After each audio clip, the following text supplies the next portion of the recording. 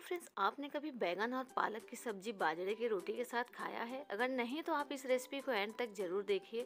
और रेसिपी पसंद आए तो वीडियो को लाइक और चैनल को सब्सक्राइब करना बिल्कुल ना भूलिए। हेलो फ्रेंड्स, मैं हूँ रेनू और स्वागत है आपका मेरे चैनल में। तो चलिए इसे बनाना स्टार्ट करते हैं। इसे बनाने के लिए हमने ले लिया है आधा किलो पालक। पालक को धो करके काट लिया है। साथ ही में हमने तीन मीडियम साइज़ के आलू और दो बैगन को भी काट कर रख लिया है। थोड़ा सा हमने ले लिया है हरी मटर। एक टुकड़ा अदरक और 10 से 12 लहसुन की कली, जिसे हम कूट कर इस्तेमाल करेंगे। तड़का में हम इस्तेमाल करेंगे पचफोरन और दो लाल मिर्च। एक कढ़ाई में हमने दो चम्मच तेल गरम कर लिया है। इसमें पचफोरन लाल मिर्च और अदरक लहसुन कूटा हुआ डालकर मिक्स करेंगे। और इसे एक मिनट भूनने के बाद इसमें आलू डालेंगे।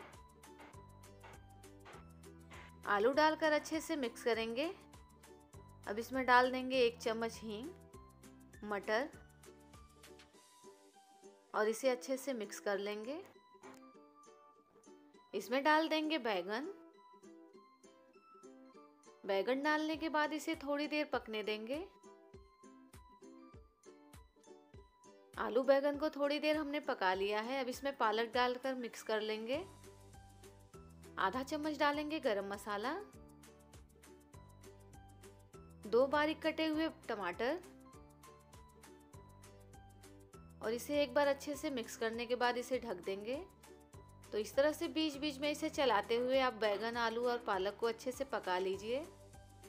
टेस्ट के अनुसार नमक डाल देंगे और इसे ढककर थोड़ी देर और पकने देंगे। आलू, बैगन और पालक अच्छे से पक जाने के बाद इसे हम खोल देंगे और इसे अच्छे से फैला देंगे और पानी सूखने तक इसे पकाएँगे। पानी अच्छे से सूख जाने के बाद इसमें डाल देंगे धनिया पत्ता और इसे मिक्स करेंगे। अब हम इसकी प्लेटिंग करेंगे। और ये लीजिए फ्रेंड्स बहुत ही टेस्टी हमारा पालक और बैगन की सब्ज़ी बनकर तैयार है। और इसे आप बाजरे के रोटी के साथ खाइए, बहुत ही टेस्टी लगती है। तो ज़्यादा वीडियो लंबी ना हो, इसलिए मैं बाजरे की रोटी आपको नेक्स्ट वीडियो में दिखाऊँगी। तो आपको मेरी ये रेसिपी पसंद आए तो वीडियो को लाइक चैनल को सब्सक्राइब करना बिल्कुल ना भूलिए। फिर मैं मिलूँगी किसी नई रेसिपी के साथ। Bye bye